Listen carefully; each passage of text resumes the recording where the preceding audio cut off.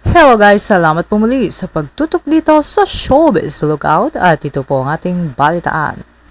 May mga larawan nga pong ibinahagi ang ating Asia superstar na si Miss Catherine Bernardo sa kanyang Instagram account at ito nga po ay umani ng papuri. Ito po ay iba't ibang post ni Miss Catherine para nga po sa kanyang A Very Good Girl movie. Ang sabi naman ni Miss Catherine sa kanyang caption, Ready when you are. Philo. Hashtag a very good girl. At makikita rin po natin na isa sa mga nag-comment ay si FJ Laurel. Sabi po niya, ang ganda mo, Kat. Ang sabi naman ni Maui Sis Gismar, I love it, sis. Ganun din po si Shippy Lumeno. Sino tinitignan mo dyan? Tinatanong naman ko sino tinitignan. Ayan nga, si Miss Bupiap nag-comment din. Ang sabi naman ni Bong Gonzales, Ganderch.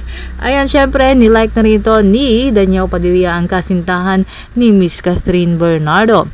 Kitang-kita naman na talagang iba ang aura ni Miss Catherine Bernardo dito sa kanyang movie na A Very Good Girl. Talagang iba-iba ang kanyang uh, itsura dito, no? At lalong nag-enhance ang beauty ni Miss Catherine Bernardo kaya naman pala siya ayan talagang nagpapayat no dahil ito po ay isa sa mga kailangan sa a very good girl. And syempre, ngayon pa lang, i-congrats na natin si Miss Catherine at ilang araw na lang po, malapit na malapit na nating mapanood. September 27. Syempre, isa sa pinaka-excited dyan ay si Miss Catherine Bernardo at ang kanyang tangi na si Daniel Padilla and family at masayang-masaya din ang kanilang mga fans at supporters dahil may mapapanood na po muli sa kanilang hinahangaan na si Miss Catherine.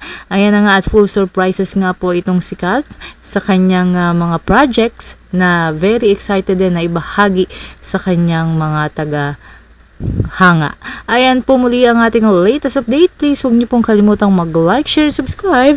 Photos always credit to the rightful owner. Maraming salamat po.